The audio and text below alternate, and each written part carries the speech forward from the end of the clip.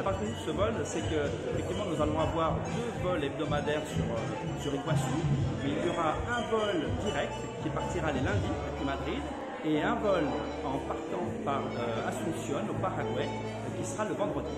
Nous donnerons comme ça ainsi des opportunités à nos partenaires d'offrir des circuits ou d'autres possibilités de, de, de, de voyage. C'est vrai que Air Europa est historiquement bien placé et a toujours voulu se développer sur latine.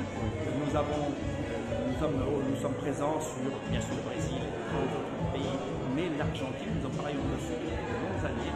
Nous opérons déjà un vol quotidien sur Buenos Aires euh, et nous avons cinq vols hebdomadaires sur Cordoba. Iguassou sera notre troisième destination euh, en Argentine, car nous y croyons fermement.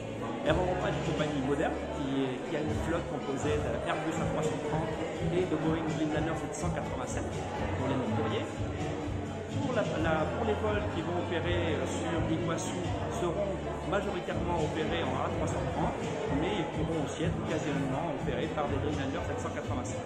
Et le Dreamliner d'ailleurs est un avion très très moderne, opère déjà aujourd'hui euh, quotidiennement sur le.